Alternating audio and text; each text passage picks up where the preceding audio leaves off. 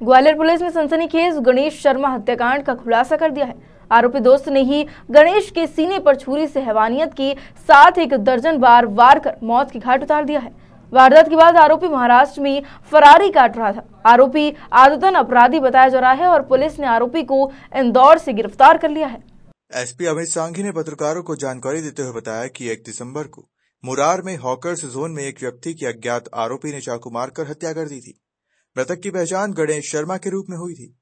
वारदात सनसनीखेज थी, हमलावर अज्ञात था तो पुलिस ने इसे चुनौती के रूप में लिया। एडिशनल एसपी, सीएसपी, टीआई सभी ने मेहनत की और 20 दिन बाद हत्या का खुलासा कर आरोपी को गिरफ़्तार कर लिया। एसपी ने बताया कि हत्या वाली रात आरोपी मृतक के साथ कलाली पर बैठकर शराब पी रहा था।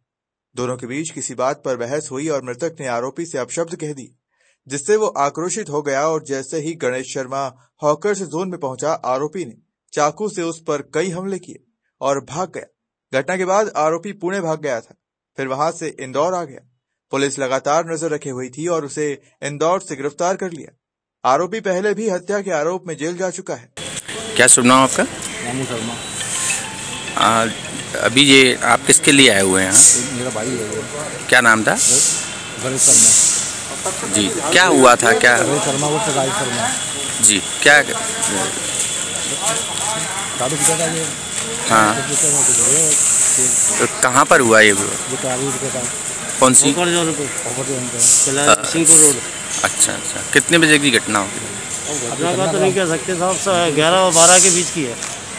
ग्यारह और बारह के बीच की है। रात में। आपको सूचना कब लगी?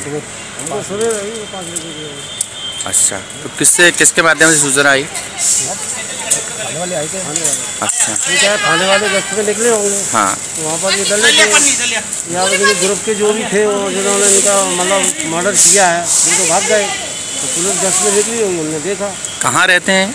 ये रहते हैं भगवती कॉलोनी पास में अच्छा। भगवती कॉलोनी सामने ही पास में गली में भगवती जी जी जी। हॉकर जोन में वो इनका।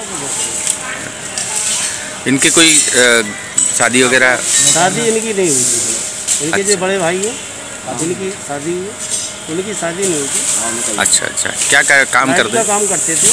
लाइट डेकोरेशन जैसा आपको विदित है इस महीने की एक और दो तारीख को ग्वालियर शहर में इकट्ठे चार पाँच मर्डर्स हुए थे और पुलिस ने लगातार लग के सभी मामलों को ट्रेस कर लिया। इसमें मुरार थाना क्षेत्र अंतर्गत एक तारीख को एक गणेश शर्मा नामक युवक की लाश हॉकर्स जोन में मिली थी ठेले के ऊपर, जिसके शरीर पे चाकुओं के कई घाव थे।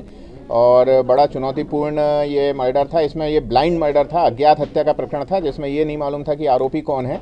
और additional SP east Rajesh Dandotiya और सीएसपी मुरार ऋषिकेश मीणा, टीआई मुरार शैलेंद्र और उनकी टीम ने लगातार मेहनत करके इसको ट्रेस किया और एक आरोपी इसमें गिरफ़्तार किया गया है जो कि पूर्व में भी हत्या के आरोप में जेल जा चुका है और उसने अपना आरोप स्वीकार किया है और इसके पीछे का कारण उसने ये बताया है कि घटना दिनांक की रात में ये लोग, कलारी के पास बैठ के शराब पी रहे थे और मृतक ने कुछ अपशब्द आरोपी को कहे और वो झगड़ा चलता रहा और बाद में जब ये हॉकर्स जोन में आया तो इसने एक चाकू से उसके शरीर पे लगातार वार किए और उसकी मृत्यु हो गई। मृत्यु करने के बाद, हत्या करने के बाद जो आरोपी था यह पुणे निकल गया था और पुणे से इंदौर आ गया था। हमारी टीम को इसके क्लू मिले थे और लगातार परस्यू करके पुणे तक गए, इंदौर तक गए। इंदौर से इसको फाइनली अरेस्ट किया और हत्या में प्रयुक्त जो हथियार है, वो भी जब्त कर लिया गया है